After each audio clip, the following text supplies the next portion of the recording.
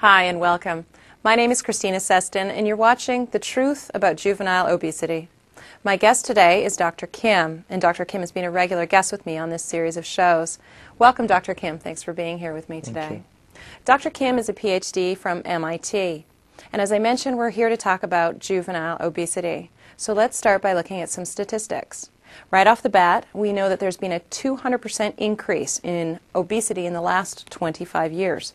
We know that the U.S. Surgeon General is currently referring to obesity as a national epidemic. 61% of Americans are obese, and of that 61%, 25% are children. And that's why we're here today. Dr. Kim, what are the consequences of something like this?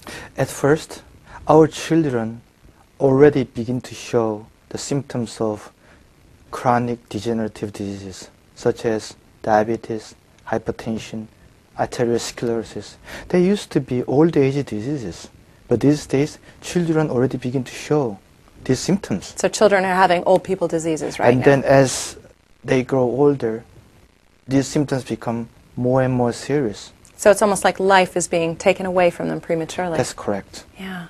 So that's a physical consequence. Are there there must be other consequences Mental this. consequences, Yeah. low self-esteem, Absolutely. and then they are being bullied, Right. and they are likely to become bullies themselves.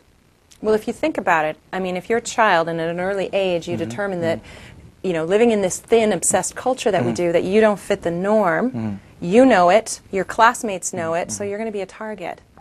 And so, is there is there a correlation with being bullied and then turning around and bullying Definitely, other students? definitely, Yeah. and uh, discrimination, Yeah, of course. and then this mental uh, trauma, right. it remains for the rest of their lives. impacts us forever and ever. That's correct, Yeah. yeah. So, Dr. Kim, we've heard the term overweight. We've heard the term obese. What's the difference? Overweight is your health is being impaired Right. uh, by too much weight, but obesity means your life uh, being cut short. So more serious. Yes. More serious. Yeah. And so when we when we take into account all of these consequences, which are far-reaching, their children are being impacted by old age diseases. Mm-hmm. I mean, the emotional trauma, Mm. the discrimination.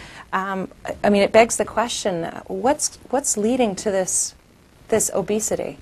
You mean uh, the causes? What of, are the causes? There are many, but let's start one by one. Yes. Uh, I'd like to mention two uh, food ingredients.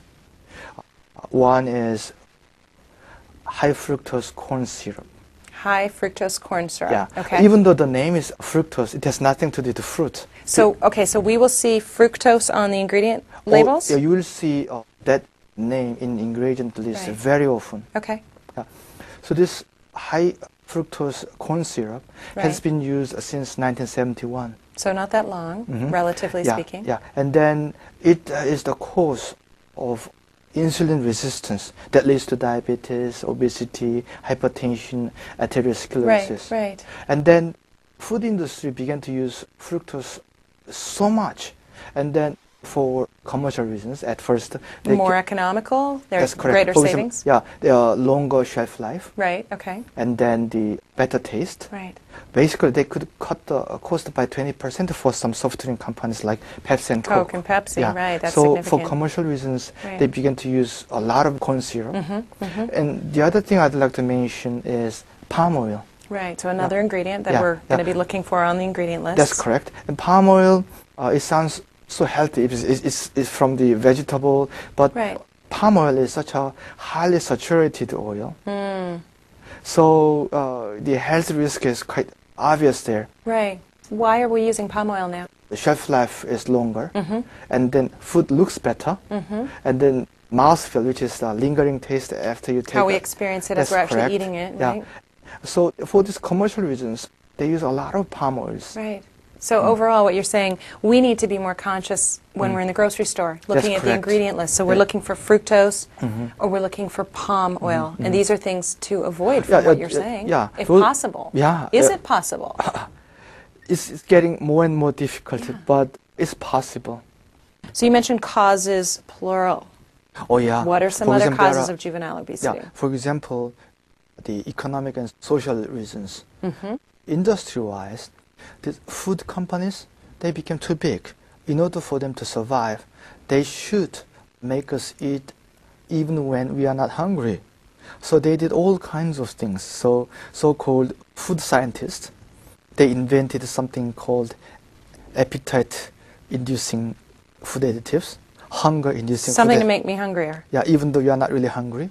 And also they played with a lot of this uh, psychological tricks, such as uh, you must have seen the documentary called Super Size Me. You Yes, seen it? yes, I have. Yes. So they just tested so many techniques. So by increasing the size of one portion, actually they could raise the revenue without really increasing the cost. this, so this uh, sounds morally unscrupulous. yeah, so as a consequence, one portion has 300% calories than they used to have. Of course, So my Big Mac and fries and soft drinks that's correct. are giving me a lot more caloric intake than they would have five years, ten years ago. Is, That's that, is that what you're saying? That's correct. This is spooky. So you're telling me there's things in my food that I'm eating that are going to increase the amount of food I eat.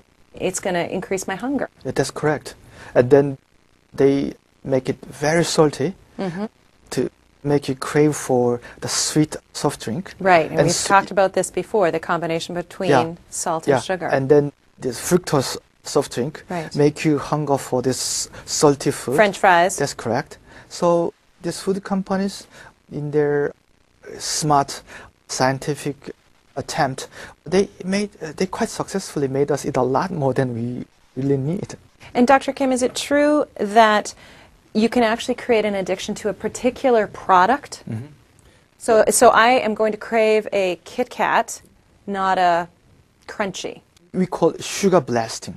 Sugar blasting. Hmm. What does that mean? When you eat something, Mm-hmm. and then that food has a high content of sugar, and then at that time when you eat it, the body secretes a lot of insulin, Right. and then that insulin triggers a certain circuitry in our brain, and the body remembers Mm-hmm. Right. it. Brain remembers it, Huh. and then brain later on kind of crave for exact the That same taste. specific formulation. Yes. Wow. Yeah. So it's relatively easy if you make a certain food very sweet, and then that sweetness is coupled with other taste. Actually, because of the sugar blasting, people remember other tastes too. So people crave for that. That's why these soft drink companies try very hard to make younger children drink their soft drinks.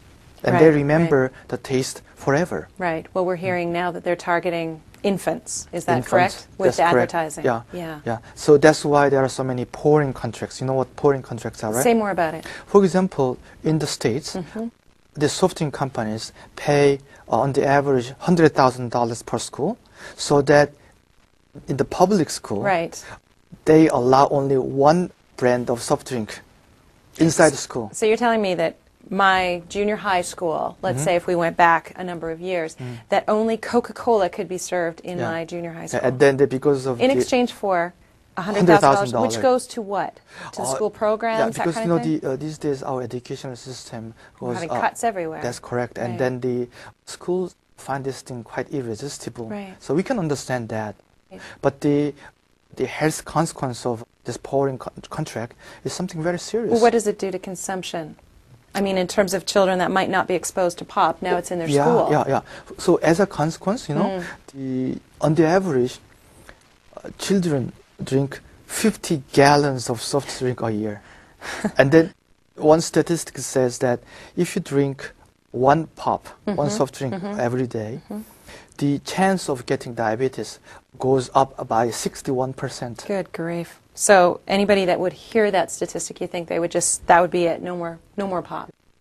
But easier said than done. Right. Yeah. So I'm curious. We've talked about pop in school, Mm-hmm. but for even younger children, I mean, they drink juice.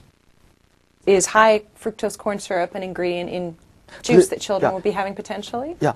Please have a look at the ingredients. Take a look at the ingredients. Yeah, even though it looks so natural, Right. but many juice, mm-hmm. fruit juice, mm-hmm. they add a lot of fructose. Right, because I hear kids, that's what they ask for. I Mm-hmm. want some juice. I want mm-hmm. some juice.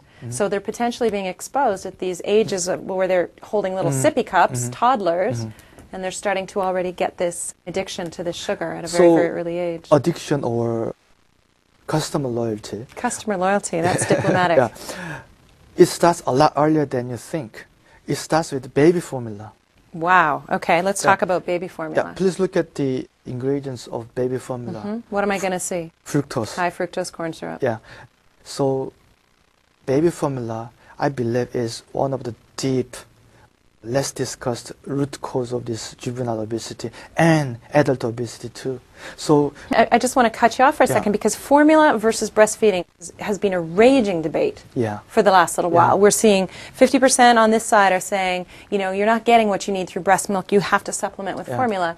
50% are saying, are you kidding? Breast milk has everything in it. What's your opinion? I'm definitely in favor of uh, breastfeeding. Mm-hmm. Uh, formula has serious, serious problems. At first, it does this exactly what we call sugar blasting. Right. So, To an infant now. to an infant, and is then their brain is the most vulnerable at the time. And then within 10 days of their birth, Mhm. if you blast children's brain with this formula, Mhm. the brain starts the program of this high content of sugar taste. Right, right. Requirement, Yeah. craving. And then some people quite convincingly argue that people's sense of hunger, Mhm. people's eating habit, Mhm. their hunger control mechanism, they're all confused for the rest of their life. Which leads to them potentially having a problem with weight for the remainder of yeah. their life. Also, another Wow, that's an- incredible. Yeah, another thing is it is uh, virtually impossible to overfeed a, a, a baby when breastfeeding, Hmm. but there's no exception that baby formula feeding always leads to an overfeeding. Overfeeding. So, at an early age of a person's life, Mhm. their sense of what is full right. or what is Right. hungry is, is, is totally It's all skewed. Yeah.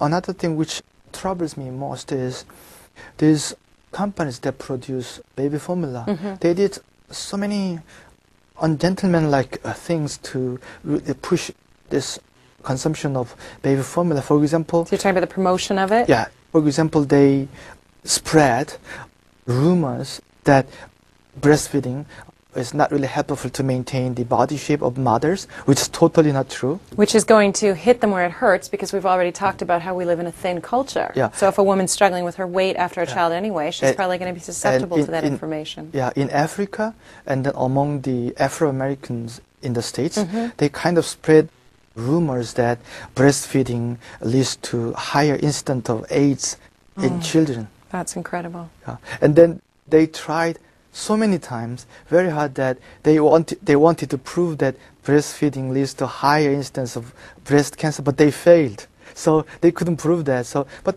they you know, did so many uh, this kind of promotional things. Right. And you're being incredibly diplomatic, calling it ungentlemanlike conduct. Yeah. Mm, Probably So- some harsher words yeah, flying so- around than that. These food Yeah. ingredients, these appetite inducement, addiction. attacks on children starts really, really early. Within a couple of hours of their birth, this industrial attack on children They're already plugged in, Yeah. plugged into the grid. Wow. every year, 40,000 TV advertisement on foods. The Children are exposed to 40,000 times of advertisement on candies, soft drinks, snacks, all these kind of things. A few subliminal messages leads to changes of voting behavior. But think about what happens after 40,000 times of incredible. ad- yeah. I mean, what you're painting a picture of a jungle. I can imagine. I can't even imagine how we get through it. So, Dr. Kim, fast food must play a role here. Yeah, in most of the fast food chains, in order to take care of this extra calories they're taking, they have to run four hours. But Who runs four hours, Dr. Kim? Uh, so you know the uh, this accumulation of extra calories. Where does so it go? Yeah, just obesity problem. Right, right. absolutely. yeah. So, Dr. Kim, we're talking a little bit about the food industry. Mhm. Does the pharmaceutical industry play a role here as well? Uh, they so far, Mhm. quite fortunately, they didn't play too big a role, Mhm. but they are planning. They, already see this thing as a huge market. How so? How do they imagine that they can make some money off this as well? For example, they make obesity a disease. They started uh, their public campaign. like- Classify it as a disease, is Yeah. what you're saying? yeah, what it means, it sounds so benign. Right. Oh, this is such a serious problem, so we should treat it as a disease. Mm. But what it means is Right. only doctors can talk about it, only pharmaceutical drugs can be used.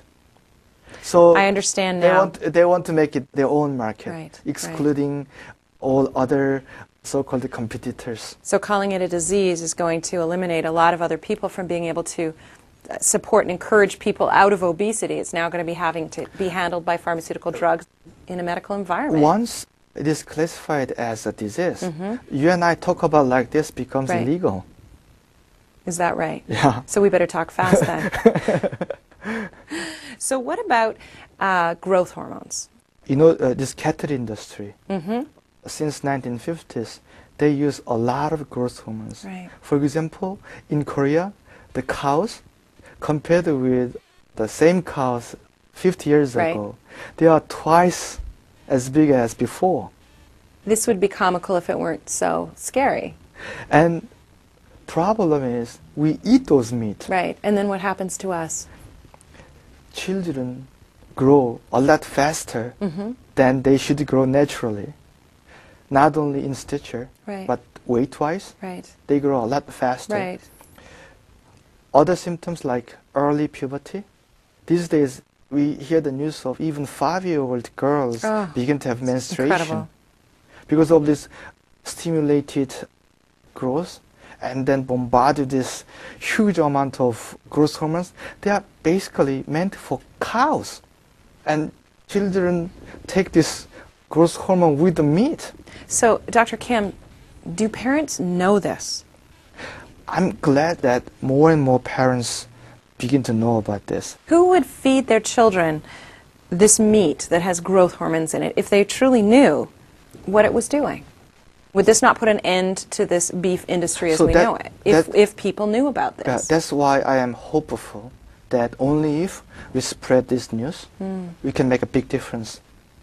You know, like the Bible say, who in the right mind will give their children bad things? Right, So only if we know, we can make changes. right, right. So, Dr. Kim, let's take a brief break here. And when we come back, we're going to talk a little bit more about some of the causes of obesity. Thanks for being with me. Yeah.